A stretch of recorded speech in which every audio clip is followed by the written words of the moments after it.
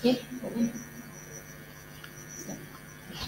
الله الرحمن الرحيم. إن الحمد لله نحمده ونستعينه ونستغفره ونعوذ بالله من شرور أنفسنا ومن سيئات أعمالنا.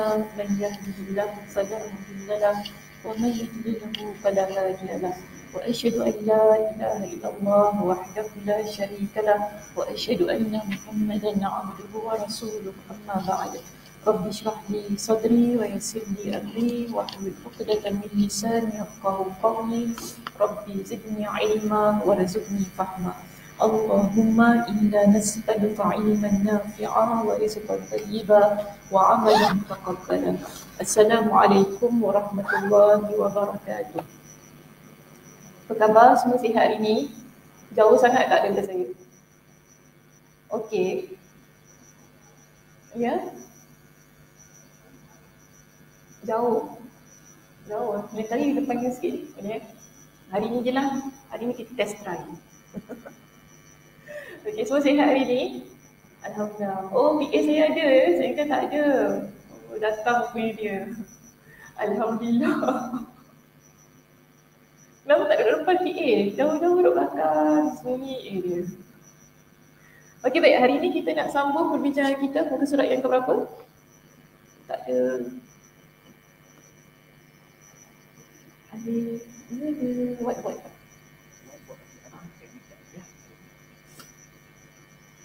Terbanyak saya ada orang kat tepi. Ya kan dah pergi dah. Okey baik, hari ni kita uh, sambung ke surat berapa? Berapa? 412 pula. Jauh tak dengar. Suara pula yang 412 Buku semua ada eh, kalau tak ada boleh download uh, Dekat phone boleh tengok dekat phone nya Kalau ni lah. Siapa-siapa yang ni boleh ajar eh, kakak-kakak kita yang kalau tak pasti macam mana nak download Okey baik, Alhamdulillah hari ni saya nak selesaikan perbincangan uh, bab kita yang ke-6 eh, dalam kitab iman. Bab kita yang keenam uh, dalam kitab iman uh, di sini kita lihat ada beberapa hadis yang telah uh, saya jelaskan eh, pada minggu lepas. Pada minggu sebelum saya cuti lah minggu lepas. Jadi hari ini kita akan sambung syarah hadisnya di muka surat 412 kita di situ. Eh 410 410 eh di sana. Di perenggan yang terakhir sekali eh, sabda beliau sallallahu alaihi wasallam kamu menyembah Allah tidak menyekutukannya dengan sesuatu apapun. Kita akan mulakan perbincangan di perenggan yang terakhir sekali muka surat 410. Jadi masih ingat lagi hadis ini bincang tentang apa? Liza, hadis ini bincang tentang apa Liza?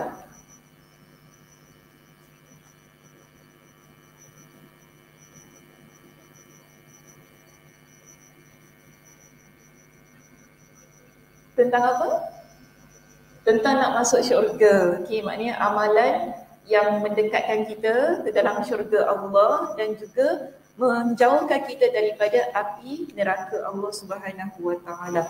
Ada beberapa amalan yang telah disebutkan oleh Nabi sallallahu alaihi wasallam nanti saya akan uh, simpulkanlah amalan-amalan tersebut. Tapi tak apa, hari ini kita masuk terus pada perbincangan yang di perenggan terakhir di situ. Sabda baginda sallallahu alaihi wasallam, kamu menyembah Allah dan tidak menyekutukannya dengan sesuatu apapun. Sebelumnya telah dijelaskan tentang hikmah penggabungan antara dua lafaz tersebut. Begitu juga tentang maksud dari mendirikan solat dan sebab penamaannya dengan wajib serta penamaan zakat dengan fardu. Penjelasan yang ni semua eh, muka surat 411 boleh refer, boleh rujuk muka surat 387. Di situ Imam An-Nawawi sudah jelaskan uh, penerangannya. Kenapa kita ni bila uh, maaf kenapa Nabi sallallahu alaihi wasallam bila Nabi sebut menyembah Allah, Nabi akan sebutkan juga dengan tidak mensyirikkan Allah Subhanahu Wa Taala. Jadi bila uh, Nabi sallallahu alaihi wasallam sebutkan tidak uh, men, uh, menyembah Allah Subhanahu Wa Taala, Nabi juga menyebutkan tidak menyekutukannya dengan sesuatu apapun. Jadi kebiasaannya dua lafaz ini digabungkan. Okay, kenapa dua lafaz ini digabungkan? Siapa boleh beritahu saya jawapannya? Tak, Nabi kata antara amalan kita ni boleh masuk dalam syurga. Pertama ialah kita sembah Allah kemudian tidak mensyirikkan Allah. Kenapa dua amalan ini digabungkan?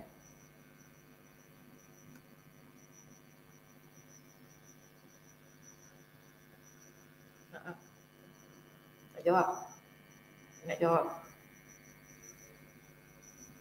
Kak Isha tahu tak Kak Isha?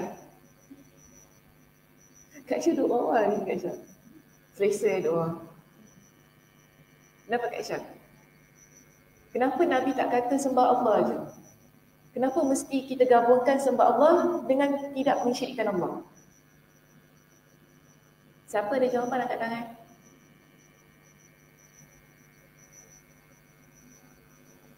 Tahu tak? Tak tahu. Betul tak tahu? Kemalu. Nak jawab. Tahu tak? Nabi, eh, bila Nabi kata bila orang tanya, wahai Rasulullah, tunjukkan kepada saya amalan yang mendekatkan saya kepada syurga dan menjauhkan saya dari api neraka. Pertama sekali Nabi kata apa? Anta'budallah. Engkau sembah Allah wala tusyriku bihi syai'an. Engkau jangan syirikkan Allah dengan satu apapun. Kenapa Nabi tak cakap sembah Allah sahaja?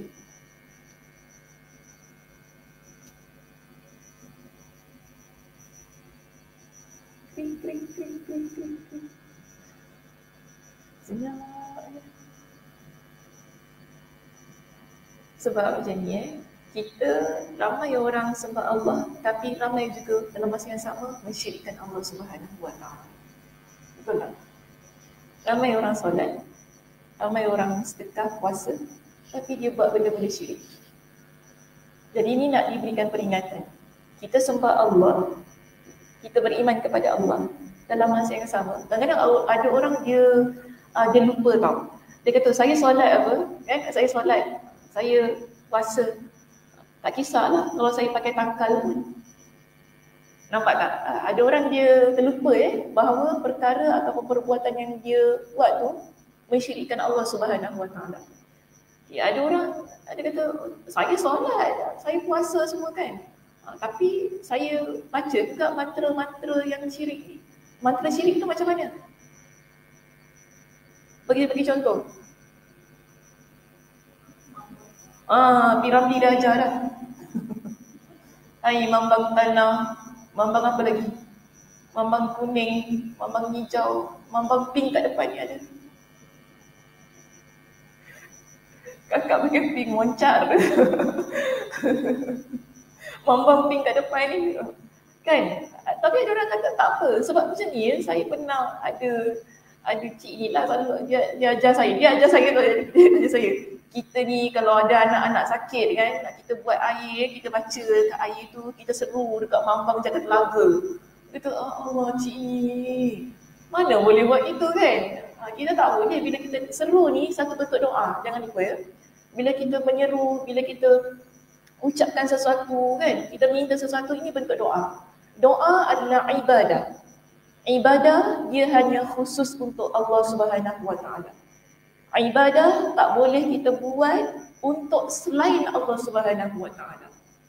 Jadi tadi bila Nabi kata hendaklah kamu beribadah kepada Allah dan tidak mensyirikkan Allah. Digabungkan kedua-duanya sebagai peringatan kepada kita supaya bila kita beribadah kepada Allah ni jangan kita sesekali buat perkara-perkara yang syirik. Ha, jangan sesekali kita mencampur adukkan ibadah kita dengan kesyirikan. Sebab kalau kita dah campur perkara-perkara syirik ini dengan ibadah kita, agak-agak macam ni ibadah kita terima ke tak? Tak terima, confirm. Kalau syirik kecil, syirik ni ada dua kan? Syirik besar dengan syirik kecil. Apa beza syirik besar syirik kecil? Ha, lama tak kena tanya, kena tanya senyap. Selama ni saya seorang yang berbual dekat dekat dalam ni. Hari ni kena tanya senyap ke pancat ya? Tanya. Macam mana? Sekarang ni tadi saya cakap kan? Bukan saya cakap lah Nabi. Nabi kata pada kita, sembah Allah, jangan syirikkan Allah. Okey, mari kita faham. Bila kita beribadah kepada Allah, jangan sesekali kita buat perkara-perkara yang boleh merosakkan akidah kita. Okey, syirikkan Allah maknanya kita menduakan Allah Subhanahu Wa Taala.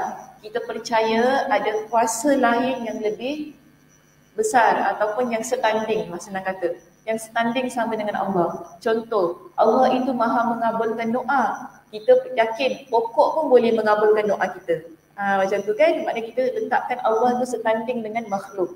Itu maknanya syirik. Okey, kita berdoa kepada Allah Subhanahu Wa Taala. Kita pun berdoa minta kepada jin contohnya. Okay, ini maknanya kita letakkan setanding. Sedangkan kita tahu doa itu hanya untuk Allah Subhanahu Wa Taala, tidak boleh jadi kita pergi ataupun kita minta kepada yang selain Allah Subhanahu Wa Taala. Baik, sekarang ini bila kita cerita tentang syirik, syirik ni ada dua. Syirik besar, syirik kecil. Apa beza antara kedua-duanya? Syirik besar dengan syirik kecil tu? Ha Syirik besar. Ha Kan dah bangun? Tadi dah bangun ni nak kena buka. Apa dia? Allah ada di sebab benar yang mana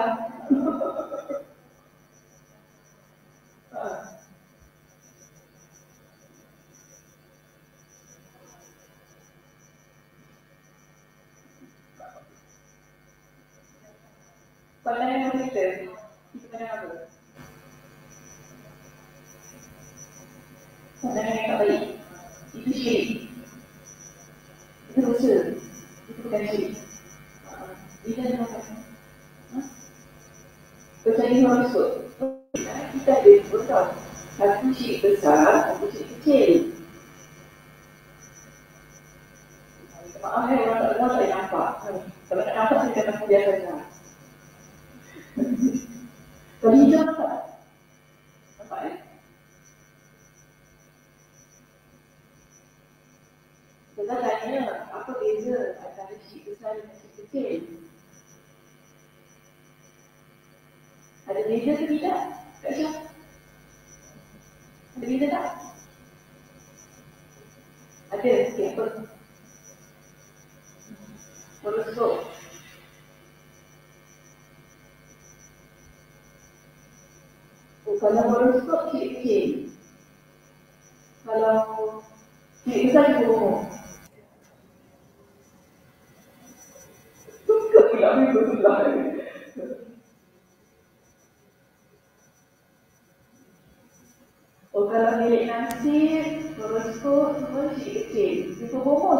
só que ele me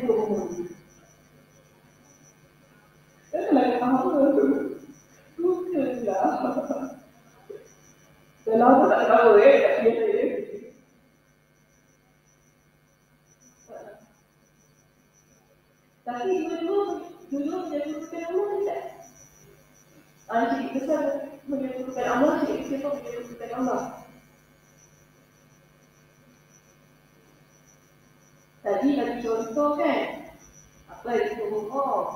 Suka dia bohong eh?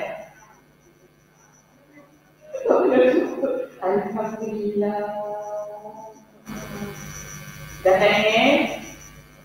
Jangan bohong. Jumpa doktor Sakina boleh? Jumpa bohong tak boleh?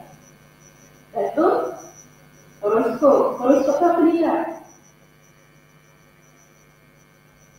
Apa dia? Bangun.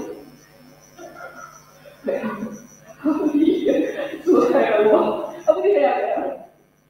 Tatayur. Oh, tatayur. Saya kali baru apa tatayur. Ni. Ah, orang nampak silau. Yang belakang nampak? Mana sikit? Tatayur. Tatayur masuk. Sedang horoskop tadi apa? Percaya kepada apa? Bintang. Okey, percaya. Uh, Liza lahir bintang apa?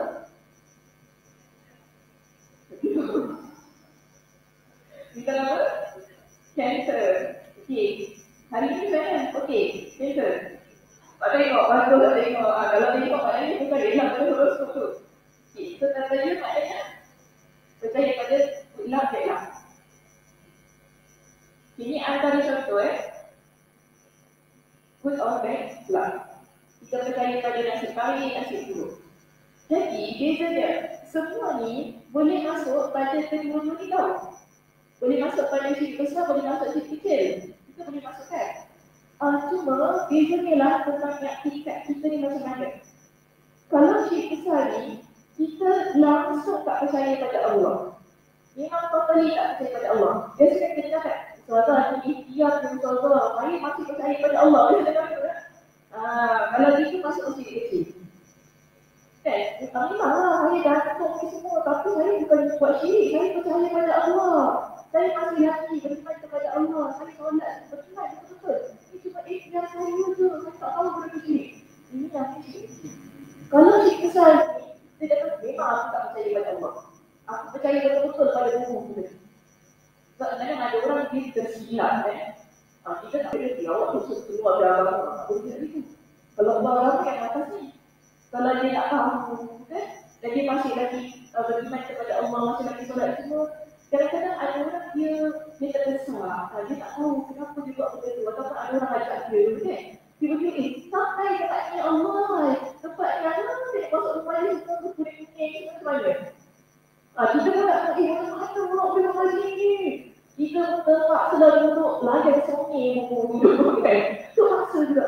Ini dalam kecil kecil sebab kita dalam hati tak ada pada Allah, yakin Allah tu Allah Isa. Kita terduduk kat tempat tu. Ha, ini kita cerita kecil. Tapi boleh buat tak boleh. Jadi situ pada kepada Allah Subhanahu Wa.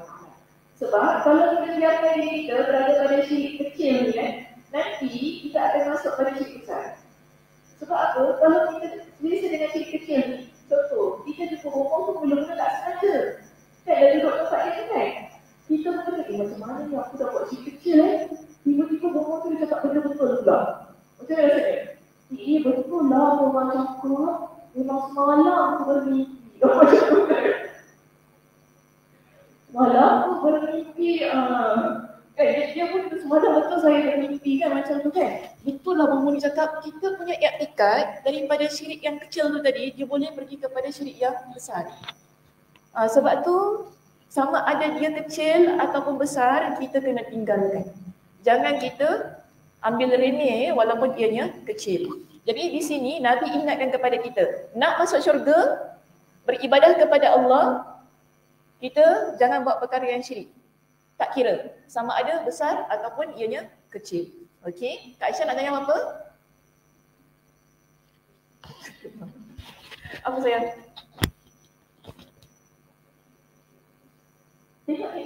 mana?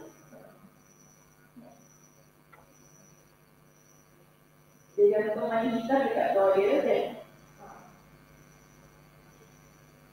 Itu tangkai. Tapi etikat dia macam mana? Ah, itu yang kita tak tahu kan. Dia gantung tangkai dekat uh, pintu dia. Etikat dia macam mana? Ah, adakah masa dia gantung tu dia yang ikat dia 100% pada tangkal tu? Nak jaga rumah dia. Tapi kalau dia dah tahu perbuatan itu syirik dia kena turunkan. Hmm, dia kena turunkan dan bertaubat kepada Allah Subhanahu Wa Taala. Dia tak boleh biarkan. Masa dia buat tu mungkin dia tak tahulah kan. Masa dia tergantung tu kan. Kan ramai orang tak tahu, ramai orang kan orang suruh gantung gantung je lah kan nak buat macam mana. Tapi bila dia dah tahu benda tu syirik, dia kena tinggalkan perbuatan tersebut. Maknanya kena angkat turunkan benda-benda yang begini. Okay. Uh, so ya, ikatnya mungkin pada awalnya ialah syirik kecil kan tapi mungkin kita bimbang bila syirik kecil tu dia dia naik kepada syirik yang besar hal itu akan mengubah ikat dia keyakinan dia. Asalnya dia cuma rasa itu ikhtiar. Tapi kemudian bila betul-betul tiba-tiba lah cik pun nak masuk tiba-tiba tak jadi. Kita nampak kan eh tak jadi masuk lah rumah kita. Dekat luar terbang-terbang. Mesti sebab tangkal ni. Kita rasa macam tu kan. Kita rasa sendiri kan oh ni mesti tangkal ni kan. Kita punya kepercayaan pada tangkal tu dah jadi kuat. Ha, ni bimbang kita dah tak percaya lagi kepada Allah Subhanahu Wa Taala. Kerana kita meletakkan kuasa itu ada pada tangkal tersebut. Ini bahaya eh. Jadi sebab tu kalau nak masuk syurga kena tinggalkan perbuatan-perbuatan yang mensyirikkan Allah Subhanahu Wa Taala. Okey baik, terus ya kita pergi muka surat 413 411 tadi di perenggan kita yang berikutnya. Uh, kita ada perkataan, perkataannya aku tidak akan menambahkan dan tidak akan menguranginya. Ini uh, siapa yang cakap? Ini ada kan di kalangan mereka yang datang bertemu dengan Nabi sallallahu alaihi wasallam.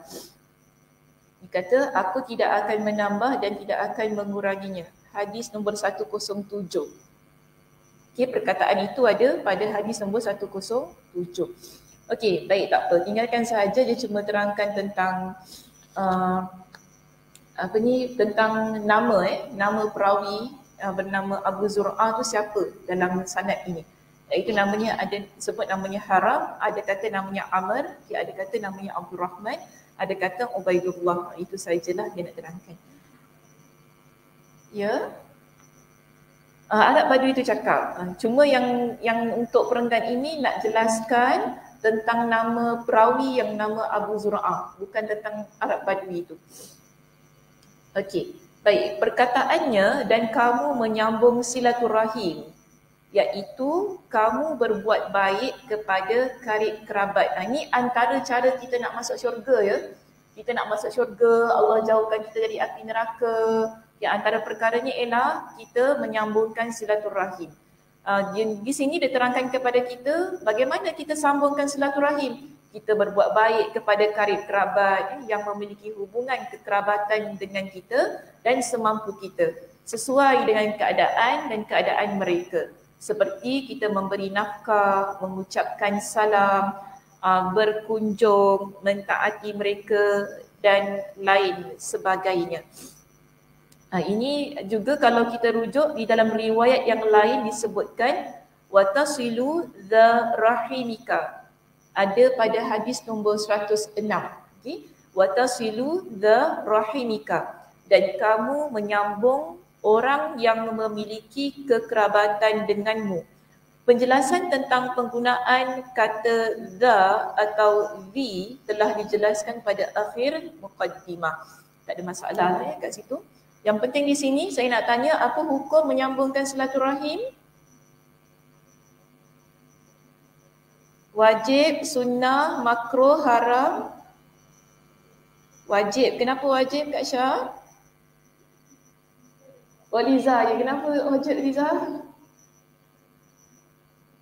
Nak masuk syurga kena buat lah. Senang dia jawab. Minum air lah. Nak masuk syurga kena buat lah. Tapi kalau tak nak masuk syurga tak payah buat lah. Senang eh? Senang. Satu je. Hukumnya wajib ya menyambung silaturahim ya. Okay. Uh, ada dalam sebuah hadis yang lain Nabi sallallahu alaihi wasallam ingatkan kepada kita uh, menyambung silaturahim itu boleh kita fahami juga dengan makna kita uh, menyambungkan ia dengan orang yang memutuskan hubungan tersebut dari kita. Biasanya yang kita faham, kita sambungkan dengan orang yang baik, apa kan?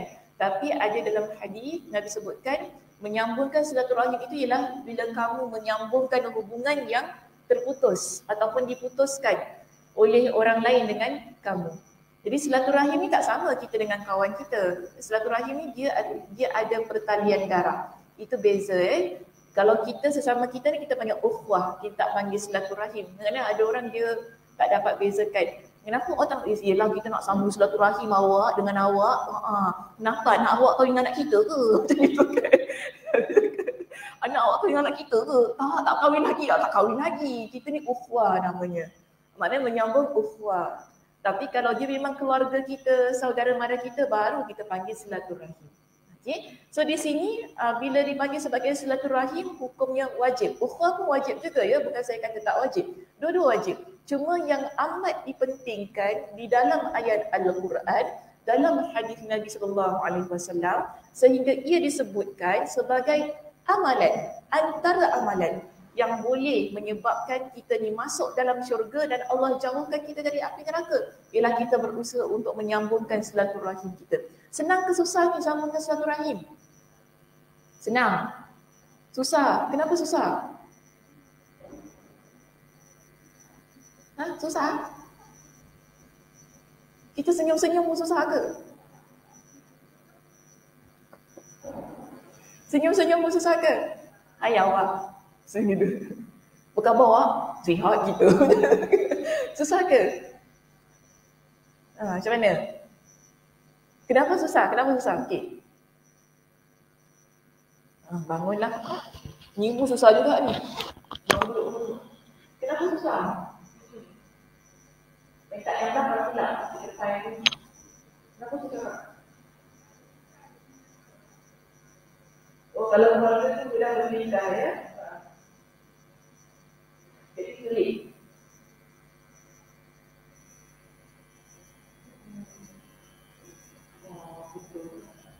Kadang kita lupakan, kita dah maafkan, tapi yang kali satu tu pula, kau enak. Banyak hal, kita tak nak maafkan kita pula, kan? Tapi macam mana? Adakah kita nak terus-terusan kita doakan dia senang ya apa pun doa. Yes, main factor. Akhirnya ada usaha juga. Uh, Nabi Sallallahu Alaihi Wasallam pernah ada seorang lelaki dalam sebulan dia dapat pernah mampunya hari ini dia dapat pernah Tuhan Rasulullah saya ini dah sudah dan uh, saya berbalik dengan keluarga saya. Saya buat apa-apa lah maknanya yang terbaik untuk keluarga saya. Tapi mereka tetap menyakiti saya. Uh, mereka tetap saya tak terima dia sebagai keluarga. Ada kan?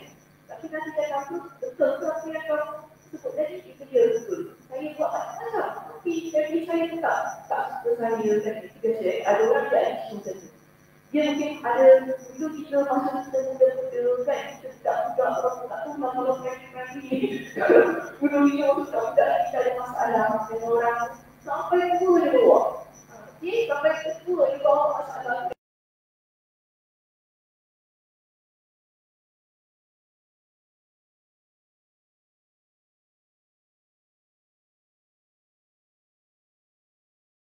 Oh, syurga. Yang senang-senang eh, masuk syurga ni kalau kita ada perasaan-perasaan yang macam tu, kita tak nak maafkan orang dunia akhirat ni, dia masalah. Nanti kita nak de- dekat akhirat ni adalah keadaan yang mana kita boleh tahu sebenarnya masuk syurga straight je. Tapi kerana kita simpan dendam tu kan dekat hati kita ni, kena tunggu orang tu datang jumpa kita. Siapa nak ditunggu lama-lama ya Allah Tuhan tu. Tapi kerana apa? Sebab kita dah dendam daripada dunia tu kita tak maafkan dia. Ini payahnya kan. Hati kita ni susah sebenarnya, betul. Kita banyak ikut perasaan jika kita hidup ni.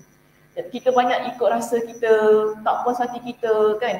Kita cakap, yelah sakit hati saya mana orang tahu. Cakap tu kan. Sakit hati saya, Ustazah tak rasa apa saya rasa, senanglah cakap maafkan. Ah, kita cakap itu. Tapi Ustazah tak tahu apa saya rasa. Betul. Saya tak rasa apa yang orang lain rasa. Tapi kalau kita dapat, ni bukan paksaan ya. Tak ada paksaan dalam agama ni kena maafkan tak. Kalau kita dapat, kalau kita boleh, maafkan itu terbaik. Itu paling baik. Kan supaya mudah setiap urusan kita. Uh, Nabi ada sebutkan tentang hubungan silaturahim ni. Ada dua keutamaan. Kenapa kita ni diperintahkan untuk menyambung silaturahim? Dalam sebuah hadis yang sahih, Nabi kata apa? Man sirrahu ayyubsata lahu fi rizki. Siapa yang dia suka, Allah Subhanahu wa taala luaskan rezeki dia. Ini satu keutamaannya.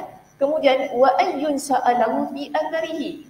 Dan Allah Subhanahu wa taala berikan kepada dia uh, dengan maknanya diakhirkan sisa usianya. Sisa uh, usianya maksudnya Allah panjangkan umur dia. Nabi beri satu je amalan. Fal yasil.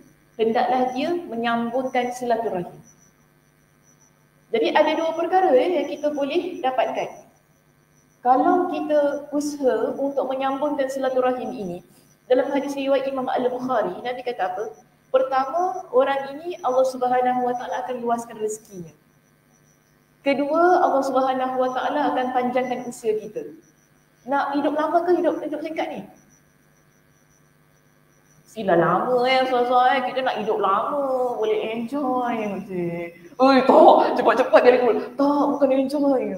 Kita nak hidup lama untuk beribadah kepada Allah Subhanahu Wa Taala. Itu tujuannya, kan? Uh, kalau kita ni uh, masih hidup, kita beribadah kepada Allah, itulah satu-satunya ruang dan peluang yang kita ada. Sebab kalau kita dah meninggal, kita dah tak boleh buat dah apa yang kita boleh buat hari ini semua dah terputus. Melainkan tiga perkara lah kan. Kalau orang meninggal, tiga perkara yang kekal pada dia apa? Hmm? Amal jariah, sedekah jariah dia kekal. Ilmu yang bermanfaat eh, yang dia ada pada diri dia. Dan doa anak yang saleh. Ha, ni tiga perkara yang kekal. Maknanya setelah kita meninggal pun, dia terus berjalan pahalanya. Tapi masa kita hidup, kita buat tak? Ah, masa kita hidup dapat tak tiga tu? Salah satu pun jadilah kan? Ah, kita kan? Kalau kita tak boleh, kalau kita tak ada anak, ah, selalu yang empat nombor tiga tu kan? Kalau kita tak ada anak, kita nak buat apa? Tak terus-terus, oh tak ada lah orang nak menyambungkan saya punya ni, nak doakan saya. Dia bukan macam tu. Kita ada dua lagi perkara yang boleh kita lakukan. Kita sedekah jariah kita kan? Alhamdulillah, mudah-mudahan setelah kita meninggal dia terus amal yang telah kita buat tadi. Seterusnya eh, Nabi SAW juga saya nak berikan dengan hadis yang lain lah yang menunjukkan kepada kita kalau kita menyambung silaturahim okay, uh, Allah Subhanahu Wa Taala berikan kepada kita dengan ganjaran syurga. Nabi SAW dalam hadis yang diriwayatkan oleh Imam Ibn Majah Nabi seru kepada manusia. Nabi kata gini Ya ayyuhan nas Wahai sekalian manusia Afshus salam hendaklah kalian menyebarkan salam. Okay, kita jumpa sama kita beri salam kan. Kemudian yang kedua Nabi kata wa at'imut ta'am berikan makan. Bila kita ada kelebihan kita beri makan orang yang memerlukan. Tak memerlukan pun tak apa. Kan? Kita tengok jiran kita sebelah tu. Alah kaya je dia buat apa nak bagi dia makan. kita ni kadang-kadang macam tu perangai kan. Tengok orang dulu. Tengok dia susah ke tak? Ah, susah baru tolong. Kalau tak susah tak boleh tolong. Pandai-pandai nak hidup. Dia sudah tengok macam tu kan. Tapi bila Nabi sebutkan wa at'imut ta'am, maknanya umum. Okay, kita beri makan. Contoh kita beri makan orang yang berpuasa eh, di situ. Ataupun di sini Nabi berikan, ah, ni yang kena dengan topik perbincangan kita ni. Wasilul arham. Nabi kata sambungkanlah silaturahim. Seterusnya wasallu bil laili wan nasu niyamun. Dan hendaklah kalian solat di waktu malam yang mana manusia sedang tidur. Lalu Nabi kata apa? Tadkhulul jannata bisalami. Kalian bila kalian ini menyebarkan salam, okey satu. Kalian memberi makan orang yang nak makan lah. Seterusnya, yang ketiga, menyambungkan silaturahim. Yang keempat, kita solat qiyamul lail. Uh, bila orang lain sedang tidur, kita bangun untuk solat. Kita buat empat perkara ini, Nabi kata, masuklah kalian ke dalam syurga dengan selamat. Jadi kita ada dua dalil yang menunjukkan kepada kita orang yang menyambung silaturahim, Allah Subhanahu Wa Taala masukkan mereka ke dalam syurga. Okey, terus eh kita bincang kitab kita di sini. Rasulullah, sabda Rasulullah sallallahu alaihi wasallam, lepaskanlah unta itu. Ha, ni bila Nabi sebut perkataan ni? Ingat lagi tak hadis tu?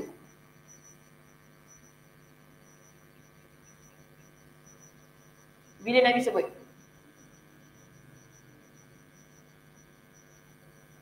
Kan ada orang Arab Badui itu datang jumpa dengan Nabi dia nak tanya soalan tadi. Minta Nabi beritahu kepada dia amalan masuk syurga dan jauhkan daripada api neraka. Sebelum itu, dia pegang tali ha, tali unta Nabi sallallahu alaihi wasallam. Maknanya tak bagi jalan. Okey, Nabi jangan jalan dulu jawab soalan saya. Dia pegang tu kan. Jadi lepas Nabi jawab soalan dia, Nabi pun kata kepada dia, lepaskanlah tali unta tu. Sebab Nabi dah jawab.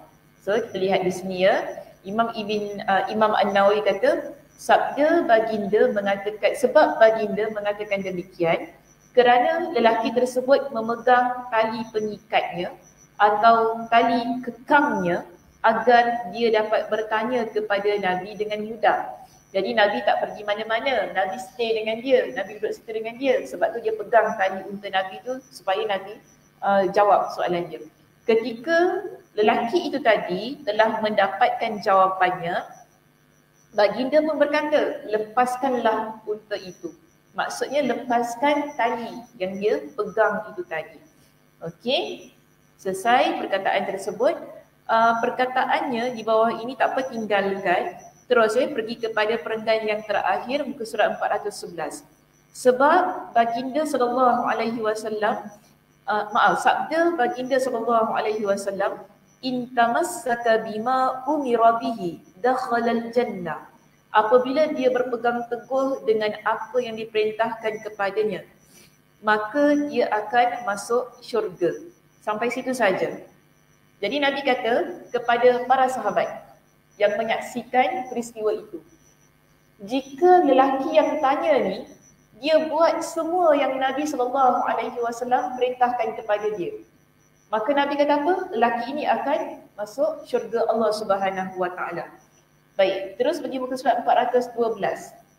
Adapun hal-hal yang disebutkan oleh Rasulullah sallallahu alaihi wasallam tentang anjuran bersilaturahim di dalam hadis ini. Sementara riwayat yang menerangkan tentang utusan baginda Abdul Qais menyebutkan hal yang lain lagi.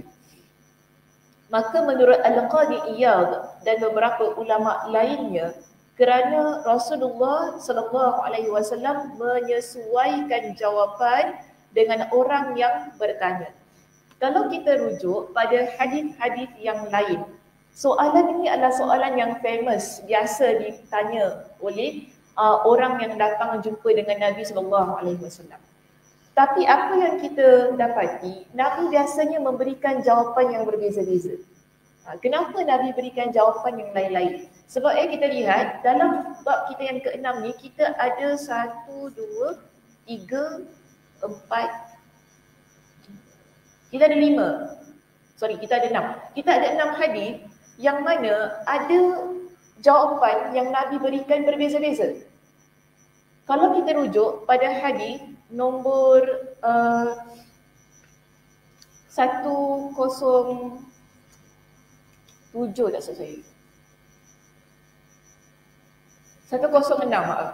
Satu kosong enam, Nabi tak sebut tentang menyam, maaf bukan bukan ni. Satu kosong, satu kosong tujuh betul. Satu kosong tujuh, Nabi tak sebut tentang menyambung silaturahim. Okay, Nabi terus sebut tentang beribadat kepada Allah, tidak mensyirikkan Allah, mendirikan solat yang wajib, uh, menunaikan zakat yang wajib dan puasa di bulan Ramadan. Nabi sebut itu saja. Nabi tak sebut tentang menyambung silaturahim.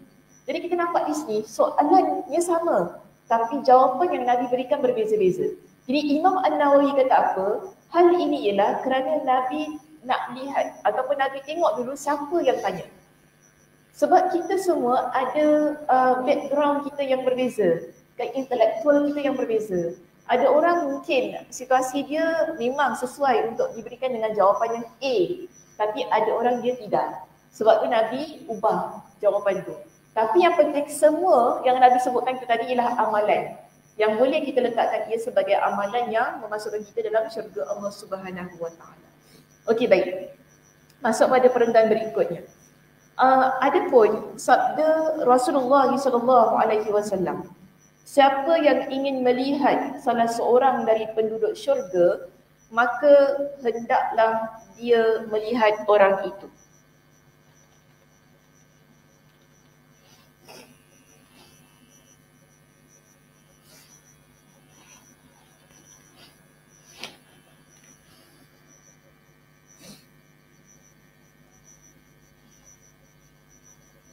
Okey.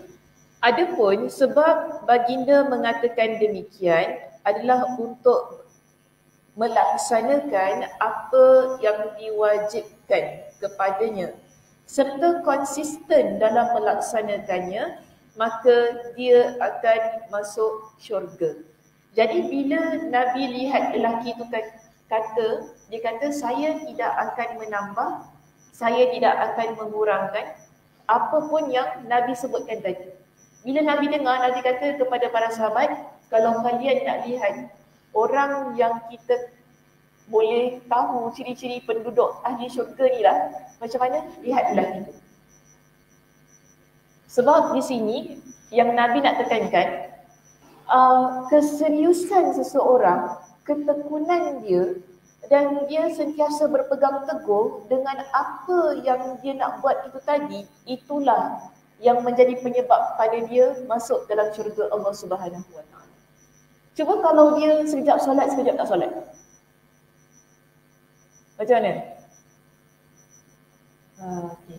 Ataupun uh, kita kata uh, tahun ni bayar zakat, tahun depan tak nak bayar zakat walaupun dah sampai haul ni. Boleh masuk syurga? Tak boleh. Tapi lelaki ni kata apa? Aku takkan uh, kurang, takkan tambah. Maknanya dia nak istiqamah dengan apa yang dia buat. Kalau dia solat lima waktu, lima waktu lah dia solat. Tanpa meninggalkan. Kalau dia nak uh, berpuasa dalam bulan Ramadan, berpuasa bulan Ramadan tanpa meninggalkan. Okay, melainkan kalau dia ada keuzuran, nah, uh, itu tak kita tak ada masalah. Eh, kita tak pertikaikan tentang hal yang sedemikian. Jadi sebab di sini Nabi kata apa? Orang yang kalau dia betul-betul buat semua perkara tadi, maka layak orang ini kita panggil dia sebagai orang penghuni syurga. Okey? Jadi di sini dia kata, ada pun perkataan Imam Muslim di dalam hadis Jabir radhiyallahu anhu Abu Bakar bin Abu Syaibah. Oh ni tak apa dah. Abu Bakar bin Abu Syaibah. Tak apa, tak apa. Ini semua uh, terangkan tentang sanad ni. Contoh, uh, kalau saya nak uh, sentuh sedikit dalam perenggan ini, seluruh sanad ini, seluruh uh, seluruh sanad ini, seluruhnya adalah orang-orang kufah. Dijelaskan siapa yang terkandung di dalam sanad tersebut. Kemudian kalau kita rujuk pada perenggan-perenggan yang berikutnya, uh, Imam An-Nawawi jelaskan kepada kita nama penuh orang yang terkandung dalam sanad itu. Contoh dia kata di sini Abu Bakar bin Abu Shaybah yang bernama Abdullah bin Muhammad bin Ibrahim. Baik. Kemudian Abu Quraib. Siapa Abu Quraib? Dia kata Muhammad bin Al-Ala Al-Hamdani. Abu Muawiyah kita ada dalam sanadnya. Siapa dia? Muhammad bin Khazim yang jelaskan. Al-A'mash. Siapa Al-A'mash? Sulaiman bin Mahran bin Sulaiman bin Mahran Abu Muhammad. Kemudian diterangkan siapa Abu Sufyan. Uh, mengenai Abu Sufyan, dia boleh bercakap dengan tiga dialek dan sebagainya. Dia boleh disebut mengenai nama Abu Sufyan ni boleh bukan tiga dialek. Dia boleh disebutkan nama tu dengan tiga bacaan. Sufyan, Sifian, Safian. Ha, boleh tiga-tiga. Kalau ada anak, nama tiga-tiga saling senang. Okey. Sufyan, Sifian, Safian. Okay, boleh sebut dengan tiga. Uh, tiga bacaan itu. Baik. Di sini, okay, perenggan yang berikutnya, kita ada perkataan Al-A'mash, anak Abi Sufyan, dari Abu Sufyan, padahal Al-A'mash adalah seorang mudallis. Baik, Al-A'mash ini di kalangan uh, ulama hadis ada yang mengatakan dia adalah seorang yang mudallis. Mudallis ni macam mana? Ni ilmu uh, ulum hadis.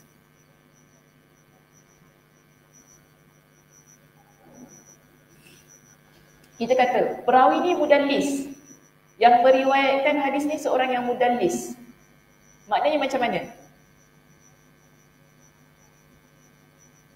Perawi kalau mudallis ni hadisnya tak boleh terima. Tapi sekarang hadis ini kita dapati ia berada dalam kitab Imam Muslim. Kitab Imam Muslim ni kitab yang kedua paling sahih setelah Al-Quran. Jangan lupa ya sebab tu saya ajar kitab ni. Jadi tahu ni kitab yang kedua paling sahih dalam agama kita setelah Al-Quran Karim. Pertama ialah kitab Imam Al-Bukhari. Kedua, para ulama kata kitab Sahih Muslim. Jadi sekarang ni ada Al-A'mash tadi. Al-A'mash ni dikenali sebagai mudallis. Mudallis ialah perawi yang kita tak boleh terima hadis dia. Kerana dia ada buat jenayah ketika dia menyampaikan hadis. Soalan saya, mudallis tu perawi yang macam mana? Kak Syah. Dekat uh, Masjid Yusuf Ishak saya pernah ajar kan? Ingat tak? Tak ingat. Masa bincang kita Fatimul Bari. Uh, Okey, saya nak bagi satu penerangan yang mudah eh, macam ni. Perawi mudallis ini sebenarnya kenapa kita masih lagi muatkan dekat dalam kitab ni kan? Kenapa Imam uh, Imam Muslim masih lagi masukkan? Sebab tak semestinya seseorang perawi yang mudallis kita kita kita lihat hadisnya tak boleh terima. Kena check dulu macam mana ataupun adakah betul ke tidak. Contoh kita lihat macam ni. Uh, kita dalam kuliah ni kan, kuliah ni ramai kan? Saya nak bagi contoh macam mana. Uh, okay, Liza. Liza dia hari ni dia datang kuliah. Kemudian ada seorang yang tak datang kuliah. Siapa tak datang kuliah hari ni? Kak Zah. Ambil Kak Zah. Okay, Kak Zah tak datang kuliah hari ni. Contoh. Tapi tak sama eh dengan dengan dengan online eh tak sama tau. Dalam hadis ni lain eh. Online online ni lain. Selalunya dalam hadis ni dia kena jumpa dengan guru tu baru hadis kita nampak kuat. Kalau tengok online ni tak berapa nak kuat hadis dia. Sebab dia tak nampak macam mana guru tu ketika dia cakap wajah dia, tangan dia kan. Atau dia tak dapat merasai dengan sebenar. Di dalam hadis ni dia agak uh, serius ataupun dia agak kata syadid sikit ketika nak riwayatkan. Jadi Kak Zah tak datang. Kak Zah tanya dengan Liza. Semalam Zah cerita apa eh? Liza, oh semalam Zah cerita hadis, dekatkan syurga kan. Jauhkan daripada api neraka kan. Jadi kita, oh macam tu. Lepas tu bila Kak Zah dia cerita dengan Kak Aisyah, semalam Ustazah Sakinah dia dia cerita pasal hadis ni tau. Oh Kak Aisyah tu, ah, bila Kak Aisyah dengar, Kak Aisyah seolah-olah rasa Kak Zah datang kuliah.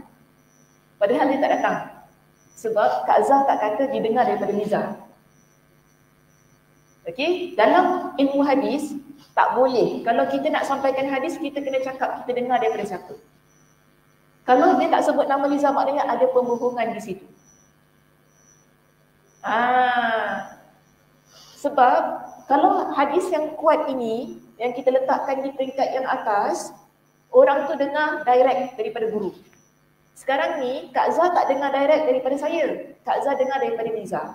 Patutnya bila dia nak cakap dengan Kak Aisyah dia kata, Liza cakap dengan aku, Saudara Sakinah cakap dengan aku, hadisnya Nabi kata hadisnya gini ya, baru betul cara dia. Jadi kalau dalam ilmu hadis, bila kita sampaikan begitu caranya kan, kita tak boleh terima hadis dia. Kita nampak dia ada sembunyikan sesuatu. Dia tak berterus terang ketika dia menyampaikan hadis tersebut. Ha, jadi ini tak boleh dalam ilmu hadis. Sebab tu ulama hadis lihat mereka yang bila cerita balik apa yang mereka dengar daripada guru tanpa menyebutkan orang yang didapatkan kita panggil dia mudallis. Ini dipanggil sebagai perawi mudallis. Tapi Kak Zah percaya, eh, Kak Aisyah percaya kenapa? Sebab Zah tu memang murid Fazal Sakinah. Mana-mana, mana-mana kuliah memang Zah tu ada. Jadi Kak Aisyah, dia tak ada yang suspicious tau kat situ. Dia tak rasa Zah ni bedik dia ke. Uh, dia tak rasa sebab apa? Kak Aisyah kata, oh mesti lah sebab dia memang betul-betul selalu pergi pulau Sakinah kan. Dia tak dia tak expect pun yang Kak Zah tak datang. Jadi di situ, bila kita percaya kan, kita boleh letak hadis tu pada taraf sahih. Tapi sebenarnya tak boleh. Hadis tu tak boleh letak pada taraf sahih. Kenapa ada berlaku jenayah pada hadis tersebut? Yang sepatutnya disebutkan nama Liza sebelum dia sebut nama saya. Ha, ini dipanggil sebagai perawi mudalis. Ini yang berlaku kepada Al-A'mash. Sebab tu tadi dia kata di situ kan, dia kata apabila dia mengatakan an, bila dia kata dari, kita faham seolah-olah dia dengar direct daripada gurunya, daripada Sufyan. Padahal di situ ada orang lain yang sebenarnya dia dapat hadis tersebut. Okey, tapi dia kata maka dia tidak boleh dijadikan sebagai hujah kecuali jika ditetapkan bahawa dia telah mendengar dari arah yang lain. Ha, kecuali bila kita dapat pastikan Al-A'mash ni memang dia dengar daripada orang lain barulah daripada Sufyan tu tadi baru kita kata hadis ni boleh diterima pakai. Tapi kenapa kita masukkan juga hadis ini dalam riwayat Imam uh, Muslim kerana telah dapat dipastikan bahawa riwayat ini diriwayatkan oleh ramai di kalangan perawi-perawi lain yang kita kata betul. Dia memang dengar hadis tersebut tapi walaupun bukan daripada Sufyan, hadisnya adalah hadis yang sahih. Cerita tu cerita betul, bukan cerita yang dia reka-reka. Okey, cuma berlaku sedikit mudallis saja di situ. Baik, seterusnya ya, kita tinggalkan tentang mudallis tadi mudah-mudahan ya dapat difahami maksud mudallis perawi tadi. kita ada uh, muka surat 413 sila rujuk pada uh, perenggan yang ke satu perenggan yang ketiga. Adapun perkataannya aku mengharamkan yang haram. Maka Syekh Abu Amr ibn As-Salah rahimahullah taala mengatakan bahawa dia bermaksud untuk dua hal iaitu dia meyakininya sebagai perkara yang haram dan dia tidak akan melakukannya berbeza dengan menghalalkan yang halal maka cukup hanya dengan meyakininya sebagai perkara yang halal. Okay, ini beza ya bila kita uh, sebutkan tentang hal yang haram dan juga halal. Okay, hal yang halal dan juga haram kalau haram ini kita wajib tinggalkan. Maknanya mesti ada usaha untuk tinggalkan. Dia tak boleh cuma hanya sekadar keyakinan sahaja. Tapi beza, kalau perkara yang halal, okay, perkara yang halal ini, bila kita kata kita yakin dalam hati kita ini halal, itu dah cukup dah walaupun kita tak buat. Okey, saya kata air kelapa ni halal ke tak? Halal kan? Tapi kalau saya tak suka minum, boleh? Boleh, tak ada masalah. Tapi kalau majlis kata halal benda tu, kenapa tak minum? Tak suka. Boleh tak? Boleh, tak ada masalah. Tapi yang penting kita dah yakin. Tapi kalau haram tak boleh. Okey, dalam hati yakin, benda tu contoh letak babi eh. letak ginzir. Dalam hati yakin, uh, haram kan? Haram. Tapi nak makan. Boleh? Tak boleh. Kita kena tinggalkan benda betul-betul tinggalkan. Tak boleh makan, tak boleh buat apa-apa yang berkenaan dengan benda tu lah kan yang telah diharamkan tak boleh. Kena tinggalkan. Maknanya dia mesti ada perlakuan dia. Berbeza dengan yang halal. Yang halal ni cukup. Kita yakin dengan hati kita benda tu halal. Tapi kalau kita tak buat pun okey lah. Tapi kalau haram tak boleh. Kalau dalam hati kita kata yakin, yakin benda ni haram. Yes, kena tinggalkan. Tak boleh. Tak boleh buat langsung benda tu. Kalau buat maknanya tak boleh lah kata kan. So ini beza antara yang haram dan yang halal. Okey, itu saja ya tentang perbincangan hadis kita dalam bab yang ke enam itu tadi. Yang bawah tu tak apa tinggalkan sahaja itu semua dibincangkan tentang uh, cara pembacaan sanad dan sebagainya. Yang penting saya nak sebutkan begini. Dalam hadis Nabi sallallahu alaihi wasallam okey, kita ada banyak hadis. Dalam hadis ini saya nak keluarkan satu persatu amalan yang Nabi sebutkan. Bila kita gabungkan semua hadis tersebut, kita dapati begini. Dalam hadis nombor 104, ini berkenaan dengan amalan uh, mendekatkan diri kita kepada syurga dan menjauhkan diri kita daripada api neraka. Dalam hadis 100 yang 104, itu hadis kita yang pertama, Nabi sebutkan kepada kita dengan lima amalan. Okey, pertama sembah Allah. Kedua, tidak mensyirikkan Allah. Ketiga, mendirikan solat. Keempat, bayar zakat. Dan yang kelima, sambungkan silaturahim. So kita ada lima amalan yang Nabi ajarkan kepada kita. Kalau nak masuk syurga, buat lima amalan ini. Baik, bila kita masuk pada hadis nombor 107, nombor, had, nombor hadis ataupun hadis dalam 107 ini, uh, tidak menyebutkan kita tentang yang terakhir itu tadi. Sebagaimana hadis nombor 104. Kalau nombor 104 sebut tentang sambung silaturahim. Kalau hadis 107 sebut puasa di bulan Ramadan. Okey, puasa di bulan Ramadan. Jadi kita cuma ambil puasa di bulan Ramadan kita masukkan saja dalam antara menjadi antara amalan kita. Okey. Baik, kalau lihat hadis nombor 108 Nabi sebut, lelaki ini sebut tentang solat fardu. Dia tanya kepada Nabi, kalau saya solat fardu, kemudian kalau saya menghalalkan yang halal dan mengharamkan yang haram, adakah saya boleh masuk syurga? Lelaki itu tak cerita tentang sembah Allah, tak sebut tentang syirik, tak sebut tentang bayar zakat, tak sebut. Dia cuma kata, saya halalkan yang halal, saya haramkan yang haram. Saya solat fardu. Saya boleh masuk syurga tak? Dia tanya dengan Nabi. Nabi kata, ya. Jadi kita ada macam ni ya. Kita ada beberapa perkara yang boleh digabungkan dalam hadis kita itu.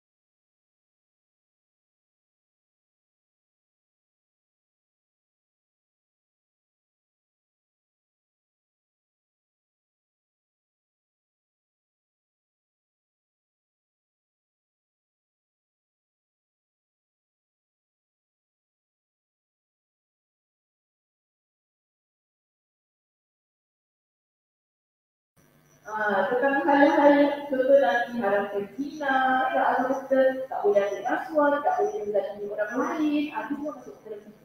Maknanya kita buat semualah, bukan enam perkara itu saja.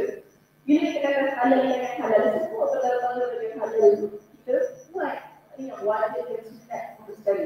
Dan kalau kita katakan tidak harap ni, kita tinggalkan semua. Perkara yang hilang dalam alam kita. Jadi pada kita tidak membuat contohnya dan kita tak buatlah hal-hal yang boleh memasukkan kita dalam arti neraka Allah Subhanahu Wa Taala. Okey, itu sahaja perbincangan kita untuk hadis kita yang ke bab yang keenam Alhamdulillah. Selesai ya perbincangannya. Mudah-mudahan Allah Subhanahu Wa Taala berkati. Ada apa soalan tertentu? Tak ada, dah nak balik dah, dah kemas beg. Nak balik dah masa-masa, nak tengok apa ni, dah jadi pukul sebelas, eh sebelas tiga belas. Alah, awal lagi. Okay. InsyaAllah kita eh minggu depan raya ke? Uh, minggu depan raya. Minggu depan ke nak kuliah juga raya-raya? Tak payahlah, Saza pun tak nak juga. Okay, kita jumpa next week. Next week. Berapa bulan tu Riza? Hmm.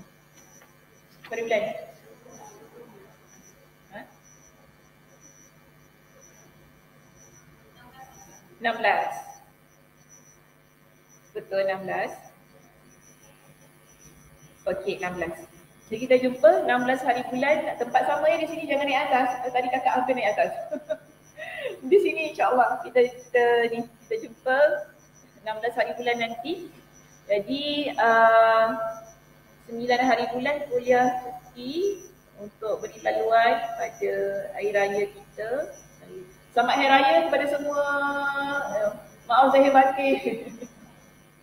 Mudah-mudahan Allah SWT menerima amal soleh kita ya sepanjang bulan Zulhijjah ini.